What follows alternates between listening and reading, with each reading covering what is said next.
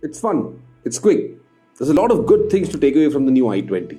The last generation itself was an excellent car in its space, in, right from the design, right from the features it offered. It was already up there, right, with the competition. Certain characteristics that stand out very strongly that I have not seen in any other car. Since its launch, i20 created a niche for itself by sparkling the genesis of the premium hatchback segment and all i20 with many segment first features.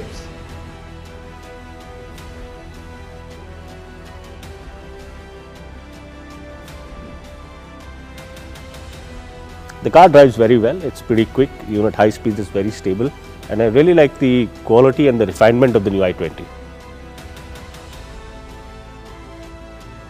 Uh, though it is performance oriented, but I feel like it, the whole feel of it is more comfort oriented. Well, if I have to say in one line, I would say that it's a happy place to be in. Yeah, the ride is, ride is excellent. It's really comfortable. It's soft. It's supple. It, it's really plush. The ride quality, I would say, stands out as exceptional. Is really fun out on the highways, but the engine and gearbox works brilliantly in the city traffic as well. So it makes perfect sense for your daily urban commutes as well as your high-speed weekend drives as well. So as I mentioned, uh, I was quite impressed. Uh, for example, the diesel engine had very good torque. So even if I was at a higher gear at a lower speed, I did not experience any jerking or I did not experience any hesitation. The car just picked up beautifully. I think the, probably the 240 Newton meter torque helps there This engine is probably the punchiest in the segment because it's got like 240 Nm of torque and you can really feel it pull. जो मैंने गाड़ी चलाई one litre turbo उसकी performance काफ़ी smooth है और easy है तुरंत थ्रोटल खोलते ही आप पिकअप पकड़ लेती है I like the steering wheel. I like the red accents in the car. Uh, they, you know, give that slight hint. The red accents give a slight hint of sportiness uh, to the one-liter turbocharged car. it is uh, one of the most spacious uh, hatchbacks uh, in its segment, and uh, it was pretty impressive.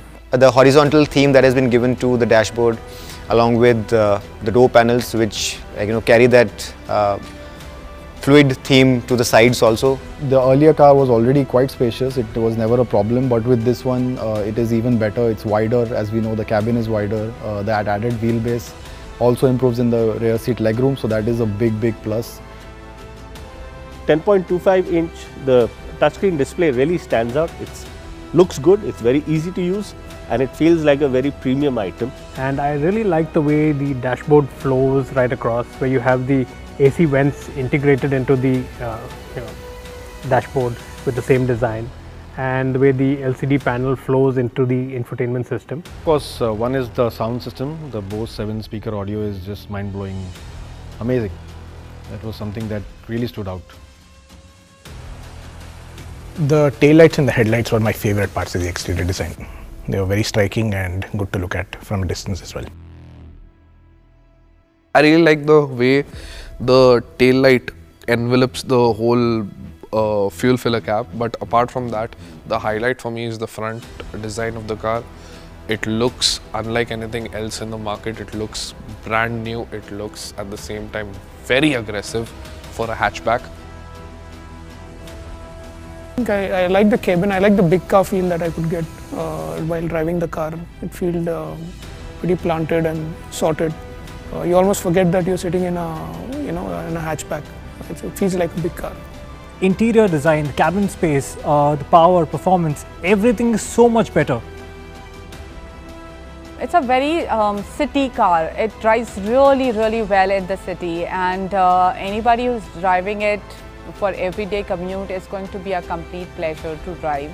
Uh, you know, personally, I think that the biggest challenge for i20 was the i20 itself. Uh, the previous generation i20 was uh, uh, a class in itself in terms of the design.